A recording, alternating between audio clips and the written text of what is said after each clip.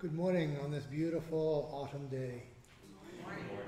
I'm Doug Kimmel, one of the deacons on duty with Robin Long today. My pronouns are he and him. We welcome you to this pulpit this morning, the Reverend Dr. Kate Winters and the Reverend Joel Krueger.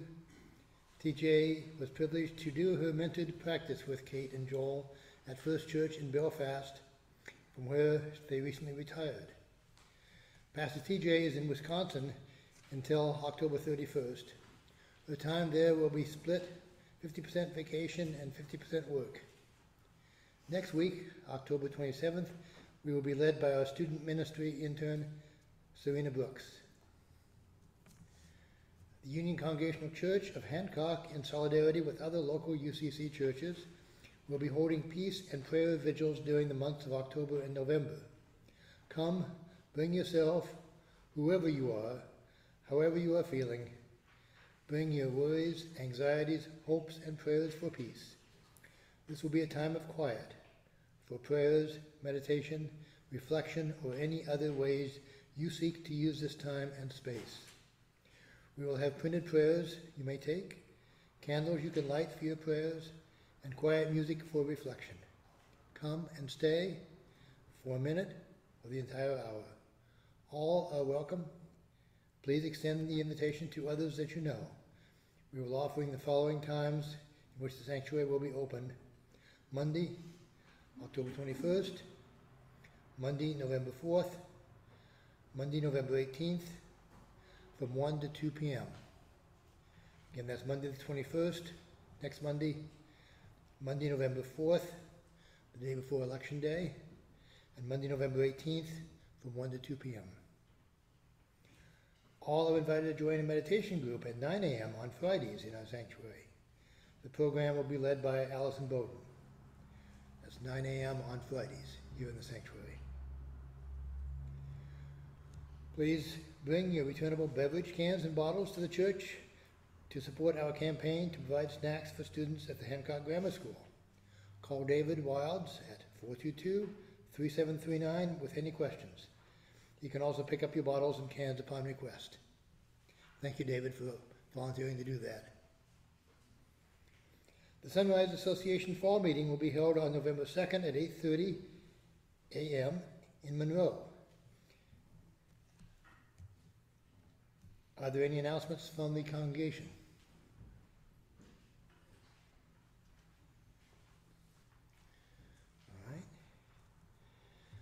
As you all probably know, uh, early vo- voting is now available in Maine, and that's a good way to avoid the uh, snowstorm on November 4th, 5th, or whatever day it is.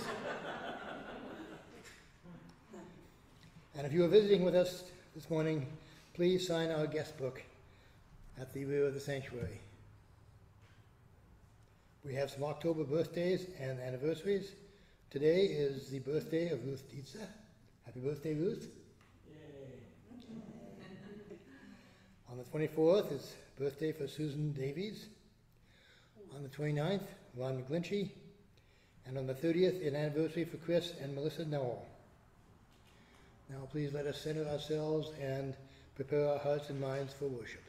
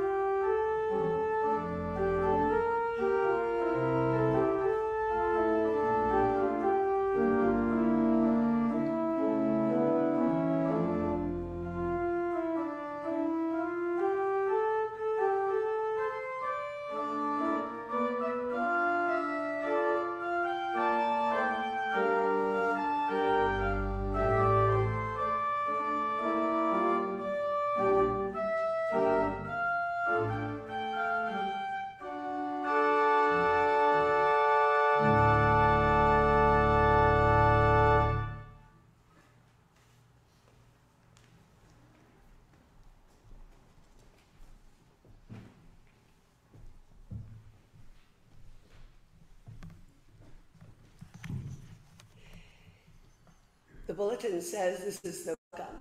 However, I think it needs to be thank you for the welcome. We're very happy to be here, very excited to be in TJ's church when she was with us for so long, and it was such a delight. So thank you for having us and welcome. Just want to say we, we've been, of course, to your congregation, to your church many times before for meetings and, and other times, uh, other services. Uh, we are good friends with TJ and Pat, and, and we do have another connection. I'm also from Wisconsin, and we will soon be traveling that direction and actually might meet up with them while we're all out there. Um, and also, we are Green Bay Packer fans, I have to say.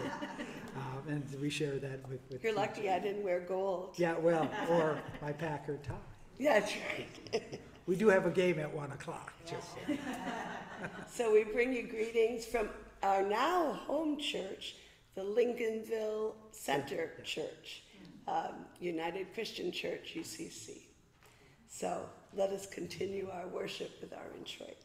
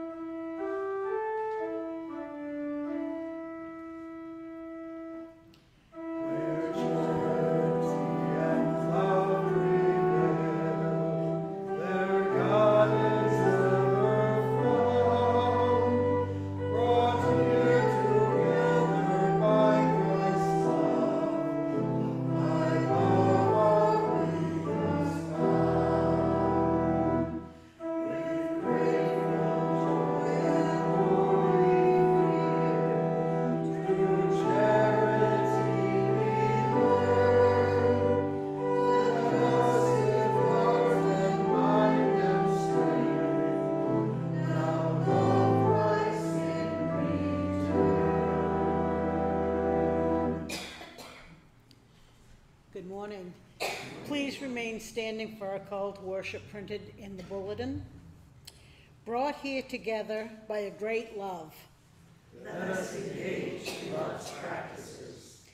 Let us do justice in our worship.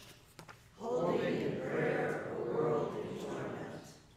Let us show kindness to one another. Reaching out to others beyond our ken. Let us walk humbly in step with our God. Brought here together by a great love. Let us embody passion and joy. We will now pass the peace um, while Robin is lighting our candle. Peace be with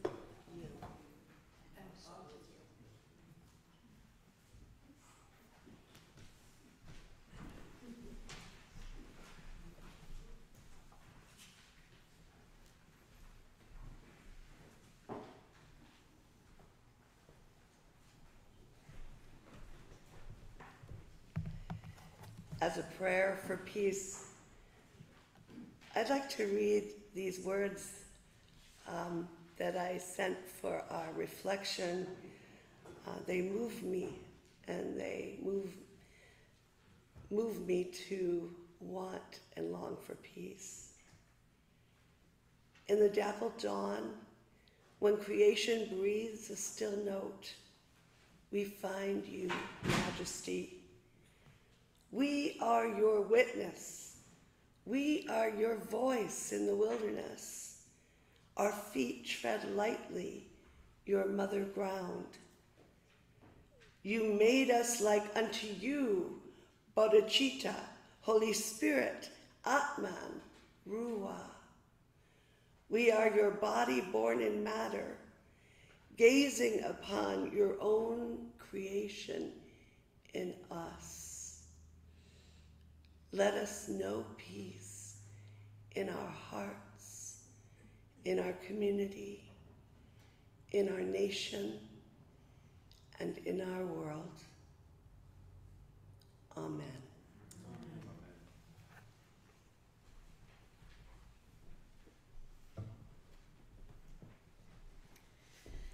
Our opening hymn is, O God of love, O God of peace, in the New Century Hymnal, which is the black hymnal, number 571.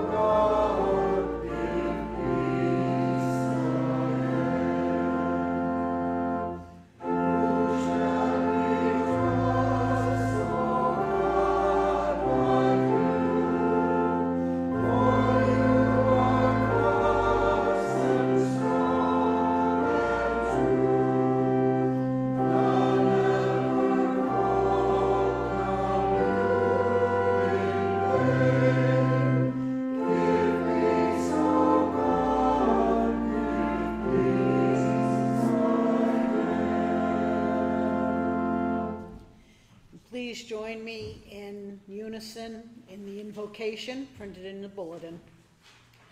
Shower us with love in this time together, Holy One. Bathe us in compassion, infuse us with patience and peace. Fill us with certainty of knowing that we are one in you. In other words, drench us with your spirit that we may speak your words and engage in your healing action this day. In the way of Jesus Christ. Amen.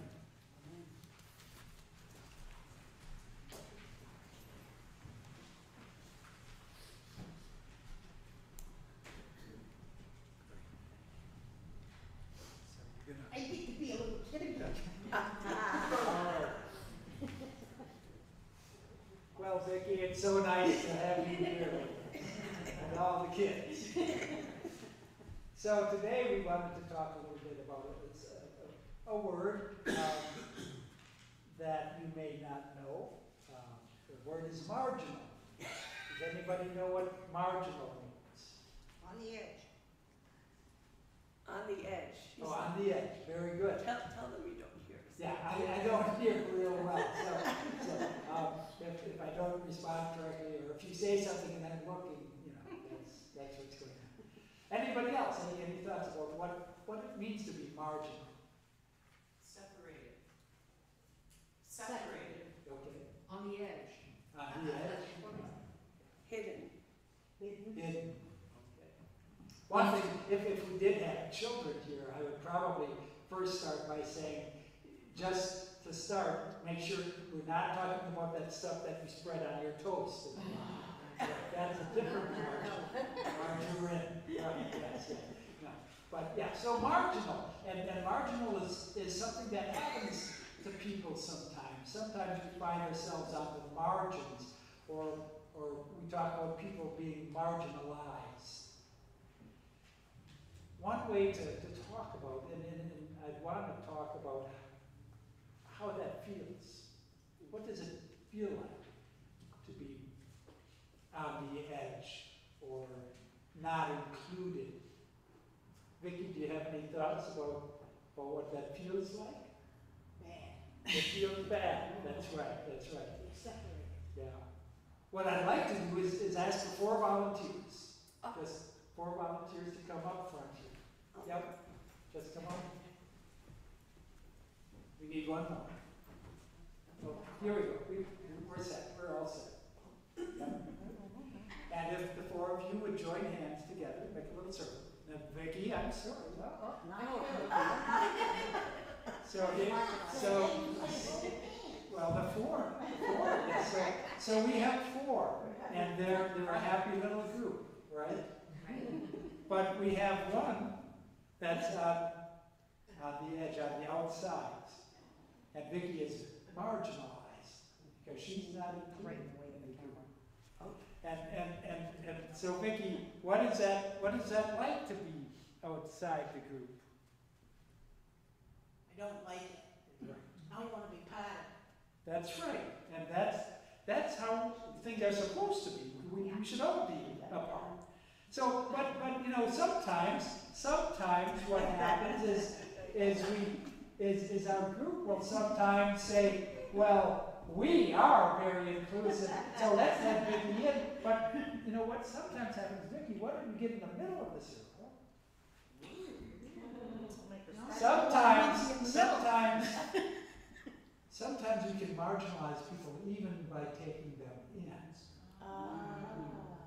So, so the group, they might do their thing around, they might be having fun. And they say Vicky's included, but she's really not, because she's not a part of the group. She may not have power to, to help make change or do things differently. Vicky is still marginalized, even though we are saying we take it away. But when Vicky joins the group and is invited to be a part of, of that group in all, in all respects, then things are good. Vicky, how does that feel? Uh, much better. I don't feel I go. want to be in the middle anymore.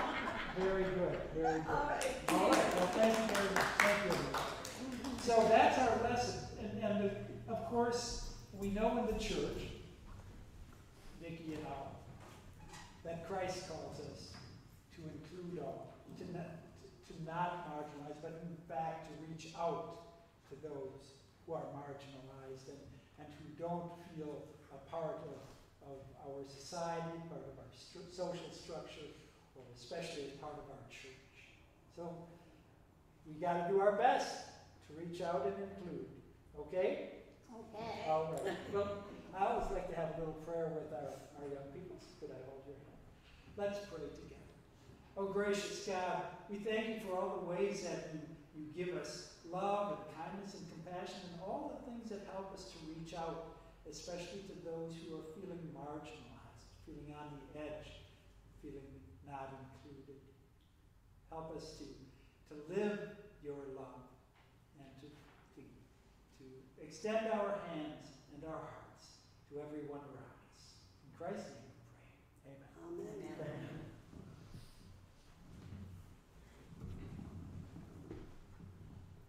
It's time for readings.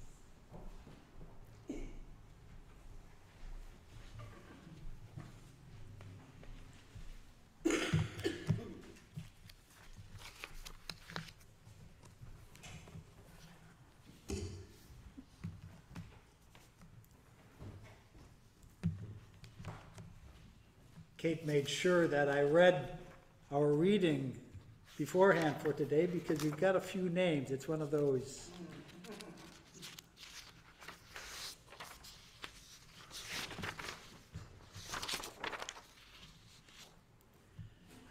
We're looking at the passage from 2 Samuel, the 21st chapter. Now there was a famine in the days of David for three years, year after year. And David inquired of the Lord. The Lord said, There is blood guilt on Saul and on his house, because he put the Gibeonites to death. So the king called the Gibeonites and spoke to them. Now the Gibeonites were not people of Israel, but of the remnant of the Amorites although the people of Israel had sworn to spare them. Saul had tried to wipe them out in his zeal for the people of Israel and Judah. David said to the Gibeonites, What shall I do for you? How shall I make expiation that, that you may bless the heritage of the Lord? The Gibeonites said to him, It is not a matter of silver or gold between us and Saul or his house. Neither is it for us to put anyone to death in Israel. He said, What do you say that I should do for you? And they said to the king, The man who consumed us and planned to destroy us, so that we should have no place in all the territory of Israel. Let seven of his sons be handed over to us, and we will impale them before the Lord at Gibeon on the mountain of the Lord. The king said, I will hand them over. But the king spared Mephibosheth, the son of Saul's son Jonathan, because of the oath of the Lord that was between them, between David and Jonathan, son of Saul. The king took the two sons of Rizpah, daughter of Aiah, whom she bore to Saul, Armoni and Mephibosheth, and the five sons of Merab, daughter of Saul, whom she bore to Adriel, son of Barzillai, the Meholathite. He gave them into the hands of the Gibeonites, and they impaled them on the mountain before the Lord. The seven of them perished together. They were put to death in the first days of harvest, at the beginning of the barley harvest. Then Rizpah, the daughter of Aiah, took sackcloth and spread it on a rock for herself from the beginning of harvest until rain fell on them from the heavens. She did not allow the birds of the air to come on the bodies by day or the wild animals by night. When David was told what Rizpah, daughter of Aiah, the concubine of Saul, had done, David went and took the bones of Saul and the bones of his son Jonathan from the people of Jabesh Gilead, who had stolen them from the public square of Beth Shan, where the Philistines had hung them up on the day the Philistines killed Saul on Gilboa. He brought up from there the bones of Saul and the bones of his son Jonathan, and they gathered the bones of those who had been impaled. They buried the bones of Saul and of his son Jonathan in the land of Benjamin, in Zelah, in the tomb of his father Kish. They did all that the king commanded after that, God heeded supplications for the land. Our contemporary reading comes from Abraham Joshua Heschel, Impatience with Injustice, from his book I Asked for Wonder.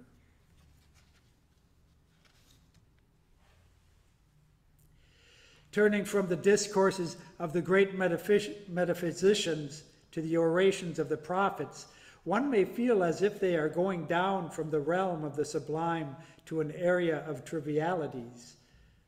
Instead of dealing with the timeless issues of being and becoming, of matter and form, of definitions and demonstrations, one is thrown into orations about widows and orphans about the corruption of judges and affairs of the marketplace.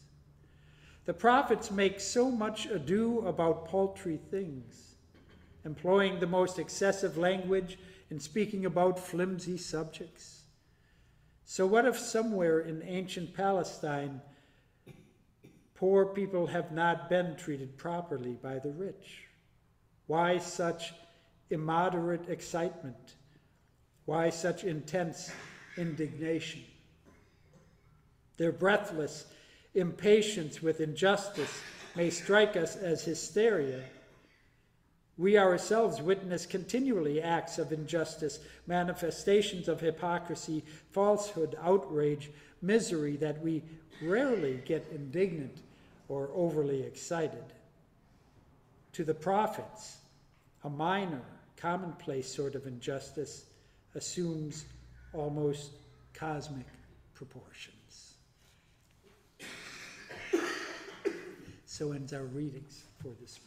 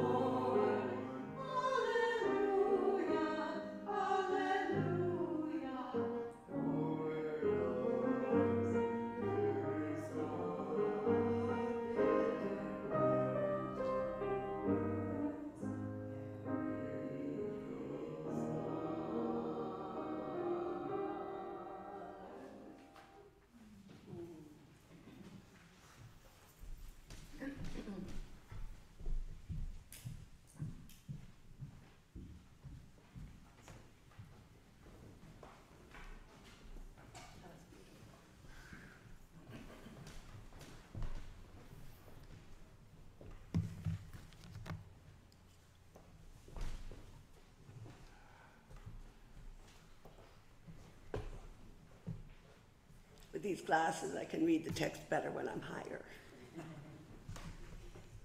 There. Will you pray with me? May the words of my mouth and the meditations of all our hearts be pleasing to you, O God, for you are the source of our hope and all our joy. Amen. Your pastor, TJ, uh, told me before I prepared this that you use a different lectionary than we have, um, than I have for the last over 30 years. And, uh, I, and she told me it would, was prepared by a Dr. Willa Gaff, uh, Wilda Gafney, and that it centers women in the Bible. And I thought, great, this is going to be fun until she sent me the readings. That was quite a reading, that first one. Um, I was immediately, I knew, in dangerous territory as I wrestled with this scripture, and I did wrestle with this scripture. because we too now live in a culture of active violence. The peoples of the time vied not only for survival, but for dominance in the land that they inhabited. Sound familiar? The God that appears is often portrayed uh, in the people's image, not the other way around. The God of vengeance, supporting retribution.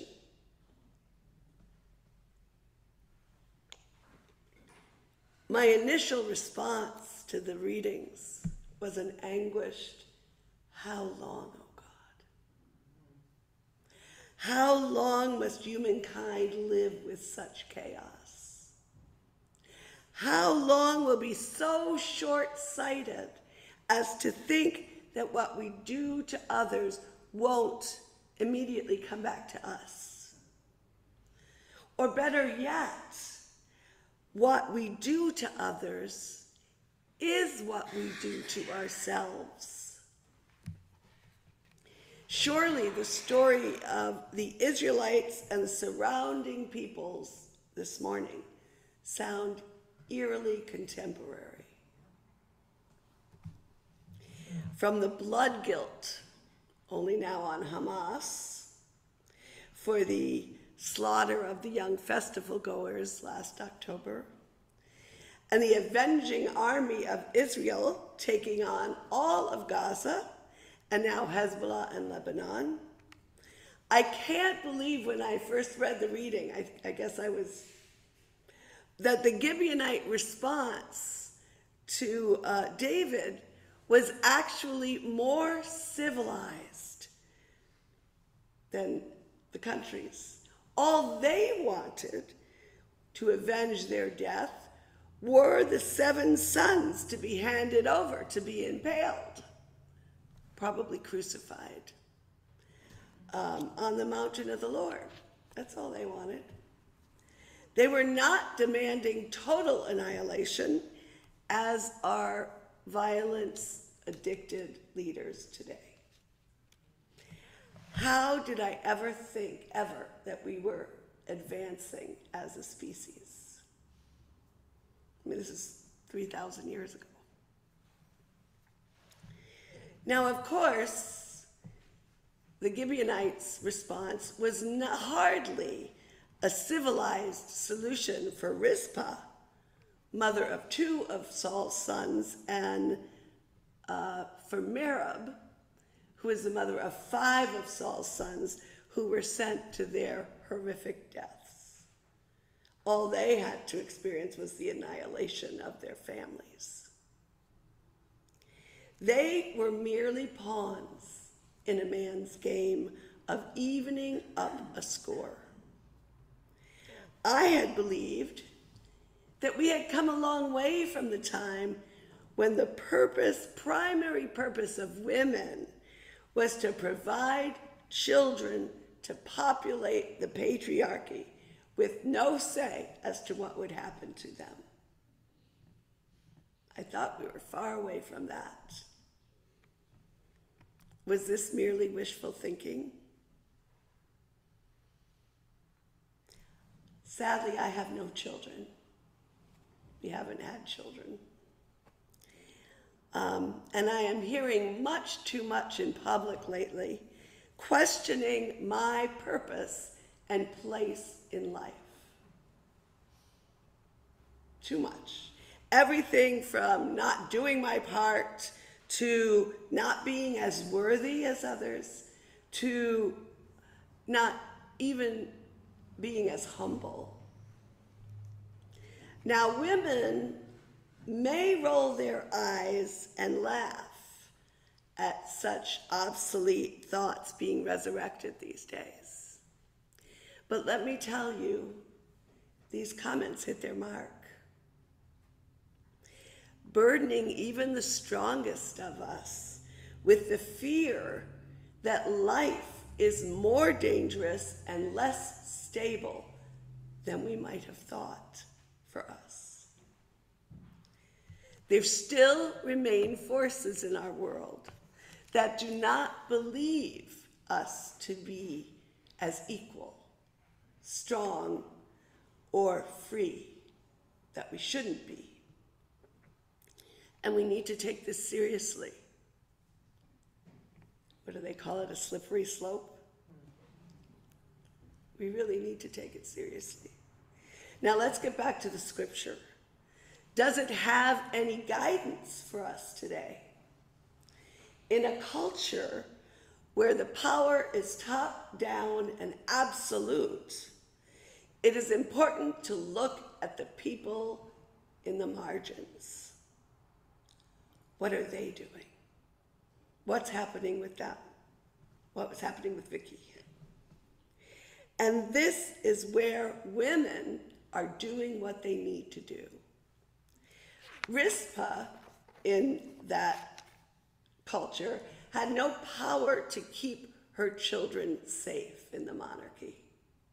She had no power. But this does not mean that she is without recourse. Even in her grief, grief can be a very powerful motivator. Even in her grief, Rizpah has the courage um, to respond in a way that will be noticed not only by the king and will move him to react in more humane ways, gathering the bones and taking care of the bodies. But also, God is moved to heed the prayer of the suffering. She did that. Rizpah refuses to be the victim and instead becomes a witness. A witness to the sacredness of life, living and dead. A witness to the grief that is inflicted by agreements made by those in power. Those seeking only to even the score between peoples without compassion or even recognition of the lives destroyed. Rizpah calls to us from 3,000 years ago to do what it is we still can do as our nation and our world seems to be spiraling into more and more chaos and too many innocents are sacrificed. This woman found a way to make a difference in a culture that set her up to be invisible. She refused to accept that for herself. And now I ask, in a minute,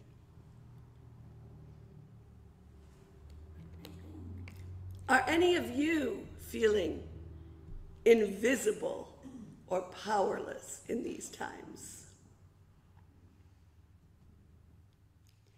I know that I've been walking around in a bit of a haze, not feeling fully engaged or seen, struggling to know how to respond to the nation's challenges today.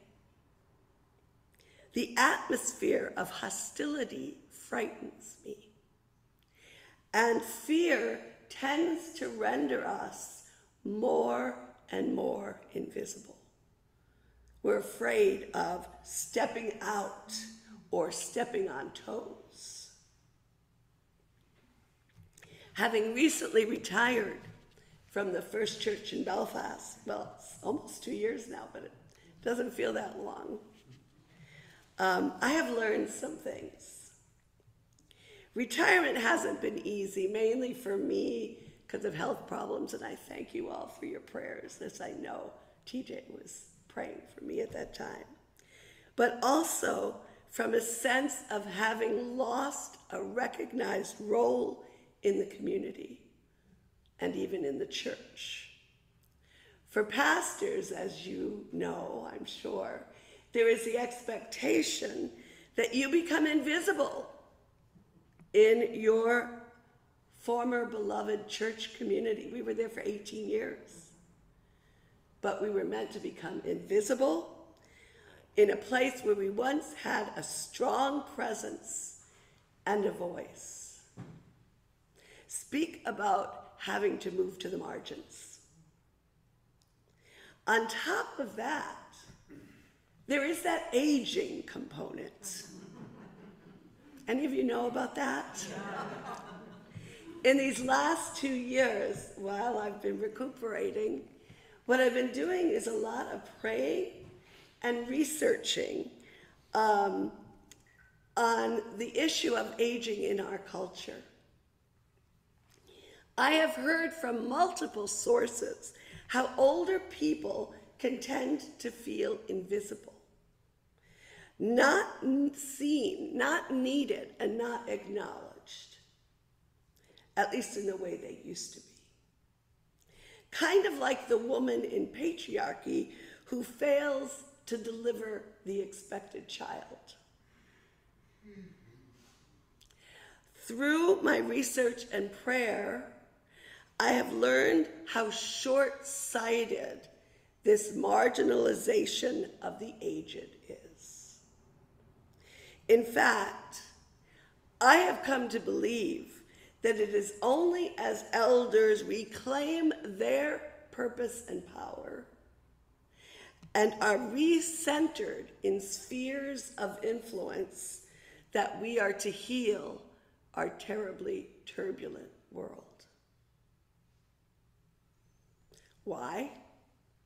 Now, this message would be much too long if I went into it too far, and you would never invite me back. So, um, but here's an essential nugget of it humankind has evolved to live 20 to 30 years longer than we did just a century ago.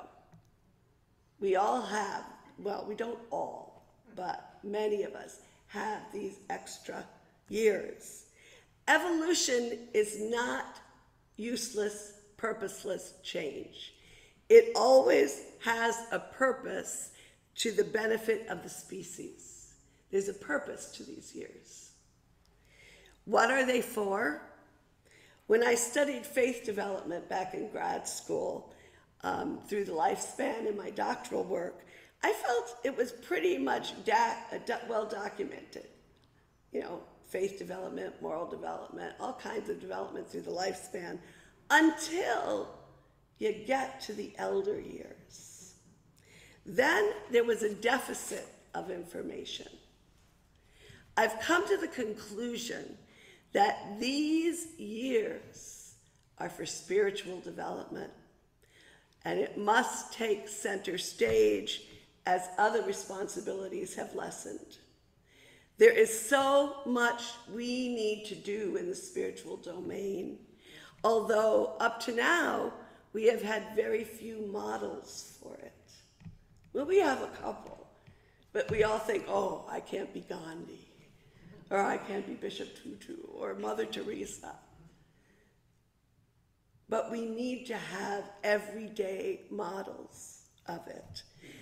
Um, and this is what is required to bring all people to the saving grace we need, knowing that it is our divisions that are killing us. Only once you've experienced the oneness of all of life, and not just talked about it, like we all could say we're all one, yeah, but truly experience the oneness of all of life in development and in practice, you have attained a potent and active wisdom that this world needs for its healing. Some call it Christ consciousness, but it's certainly not solely a Christian endeavor.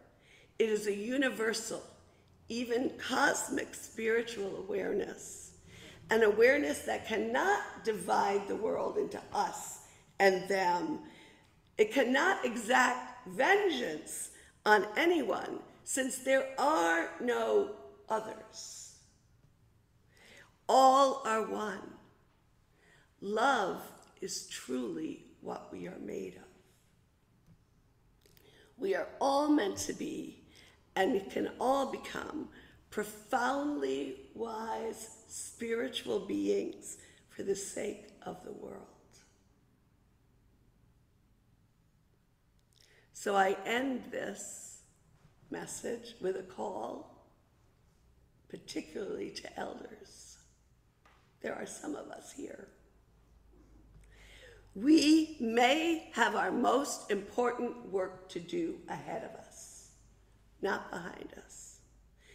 Not staying in the margins like Rizpah, we must reject invisibility that our culture cloaks us in and become strong witnesses to the oneness of being. For then there are no margins, there are no victims, and we are all centered in God's love. This is what these years are for our evolution into healed and whole humanity. So let's get to it. Amen.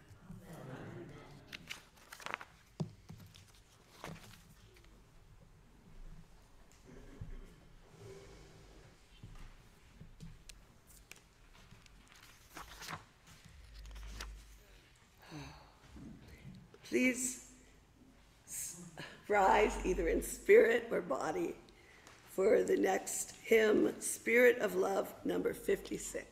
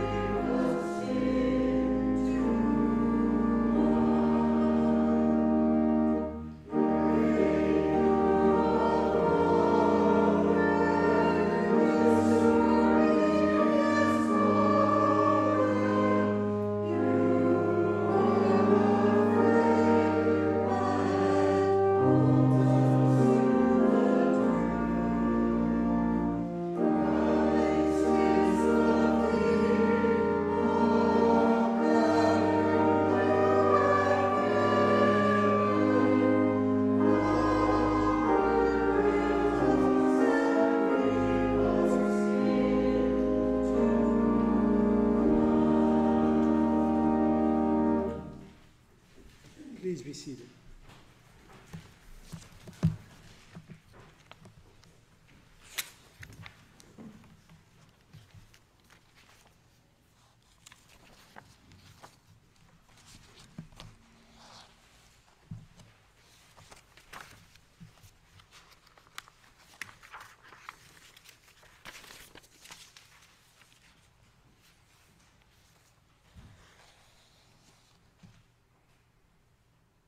As we prepare our hearts and minds to be in a time of prayer together, I invite you to hear these concerns uh, for this week that we, those that we want to be remembering in our hearts.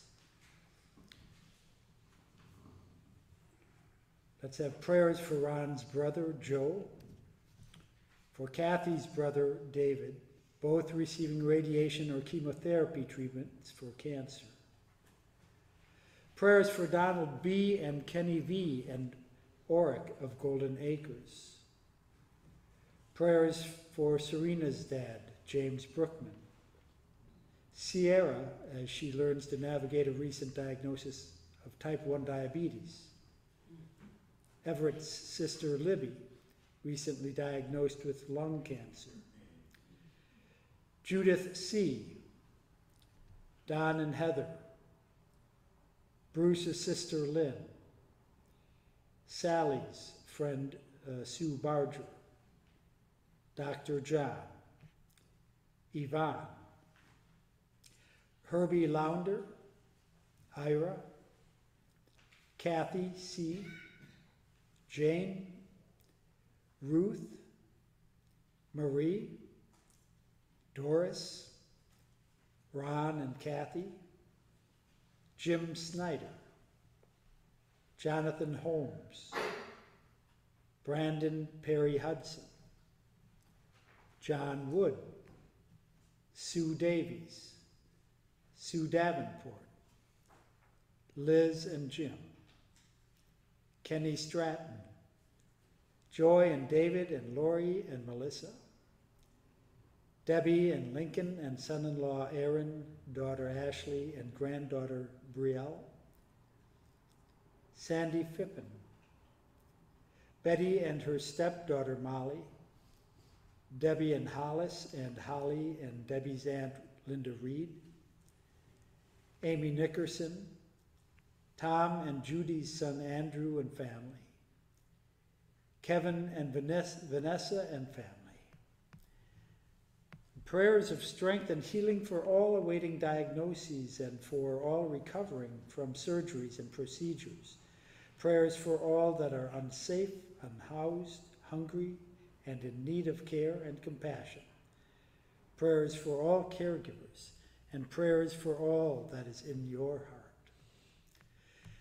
And that's a long list of, of prayer concerns. But uh, I believe you, you also then accept prayer concerns from the yeah, yeah. congregation. Okay, and I'm gonna let Kate hear for me, since I might not catch all of it, so. um, for our friend's son Keith, who was about to start uh, rehab. Okay. For Keith. Okay. For Andrea at the Golden Acres, who's busy working today and cannot be with us. For Andrea, who can't be with us.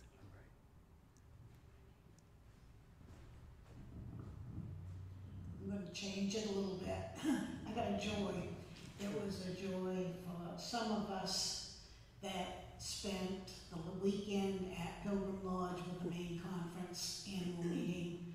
Uh, it's always a phenomenal time, and I would suggest if anybody gets asked to be a delegate, um, by all means, take it up. You meet friends and new acquaintances that you never would get a chance to meet other than at these events. And it was so beautiful there. I have a joy. I brought my mom home from the hospital Yay. yesterday after almost a month. Um, we know what is going on and it can be treated, so we're very grateful. Um, and her little house and her big heart is open for visits. If Oh, you'd like to go see wonderful. her. And she's getting to know the new puppy. Ah, It's a joy for me to join you in worship. I'm from the Bar Harbor Congregational Church, and I'm friends with Joel and Kate and Vicky, and had the pleasure of spending the weekend with them at Pilgrim Lodge for annual meeting. And part of the reason I'm here today is because your dear Vicky drove me home because I can't see at night. so, um, so anyway, I, it's a joy to be here with you today. and we just thought you wanted to see us.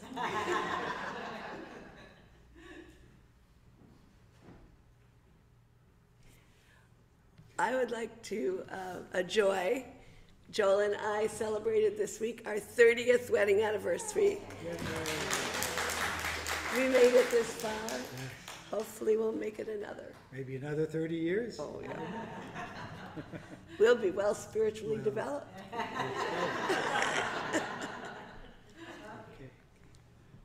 All right. I invite you then to quiet your hearts and minds. And let's seek to be in communion with one another here as we commune with the Spirit of God present with us here in this holy place. Let's pray.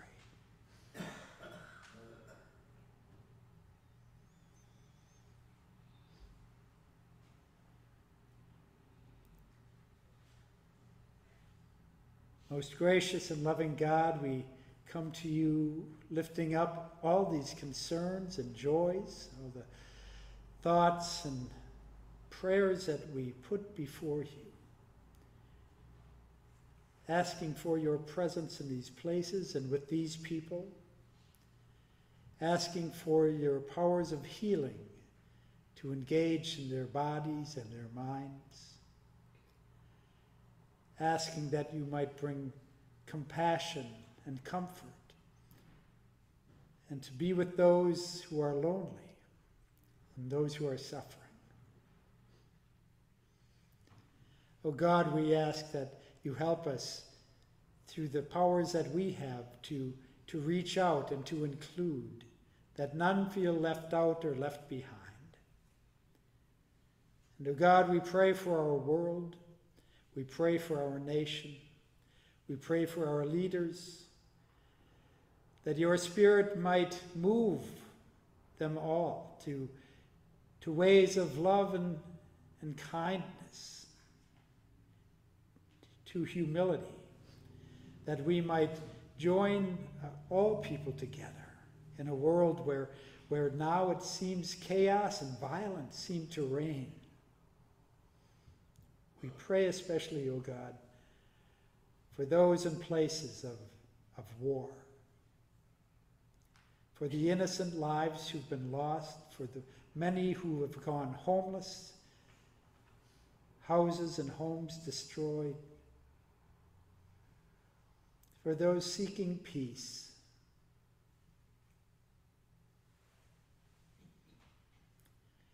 God, we thank you for the ways in which you touch each of our individual lives, for the beauty of this world around us, for nature, for the seasons, for this wonderful time of autumn where leaves turn, and that we live in a place that is so blessed.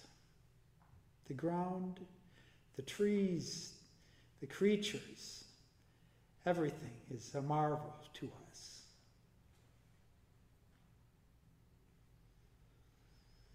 And gracious God, we thank you for the things that we receive each and every day our food, our shelter, the love of family and friends.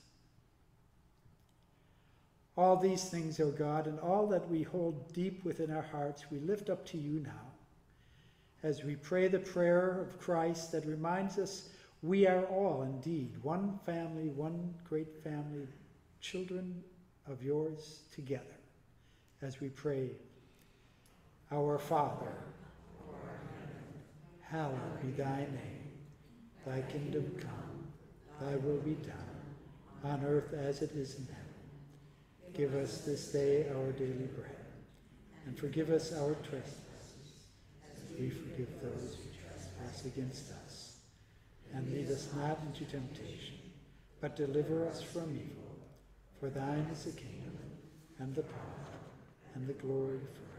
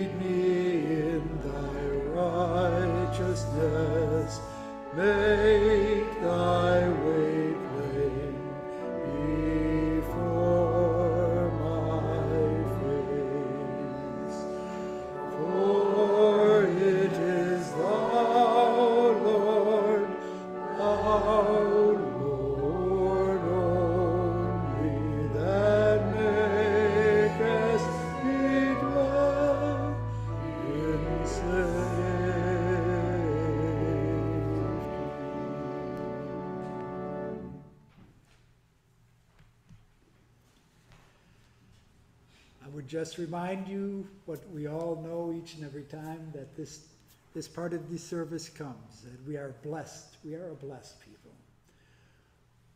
It's hard to, to recognize, but when we read about history and the ways people have lived throughout the centuries, we know that we are, we live like royalty once thought they could live. We have so much food every day, homes that are secure, social structures and cities and towns that are safe to live in. We are truly a blessed people. So, as we give today, give for, so that we might work together for the ministry of this church. Let's do so with gratitude and thanksgiving in our hearts. May the offering be taken.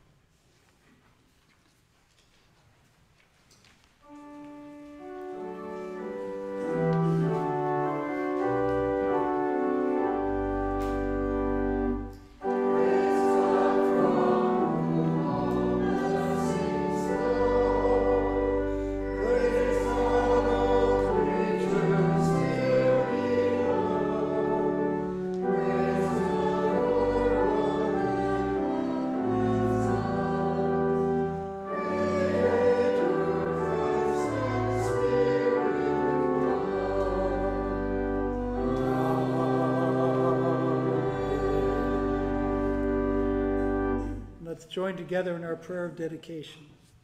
Bless these gifts of our hearts, Holy One, and multiply them into blessings for the world, beginning here among us.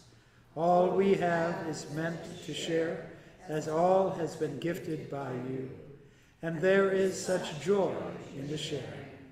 Amen. Our final hymn is sent forth by God's blessing, one of our favorites. Let's sing it with some gusto.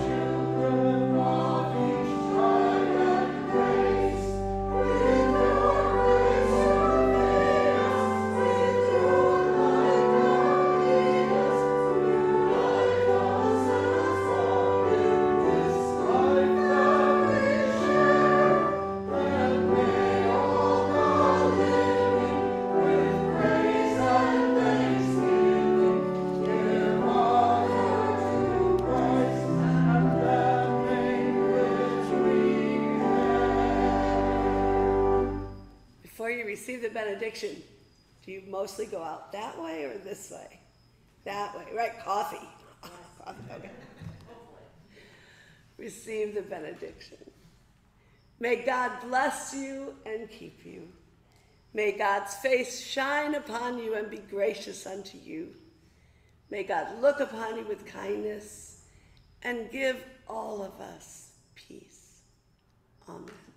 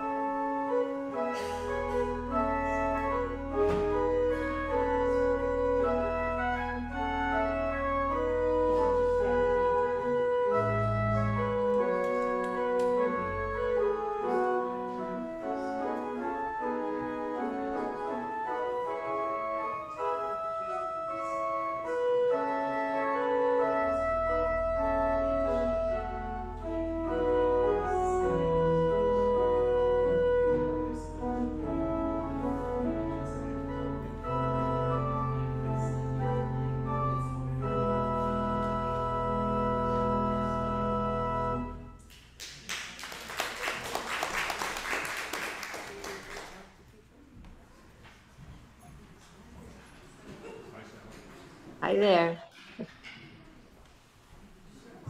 Good morning from Pennsylvania. From Pennsylvania. Yes, That's great. Hi. yeah, Thank you. Lovely service. very nice. Yeah. Both of you. So glad you could join us. Hey, Carol.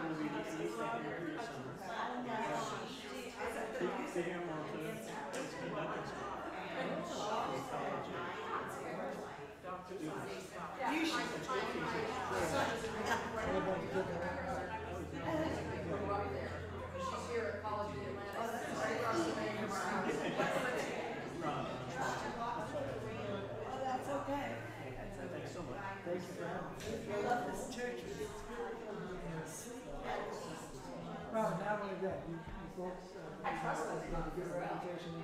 God, God, God. Yeah. So I want coffee. Yes.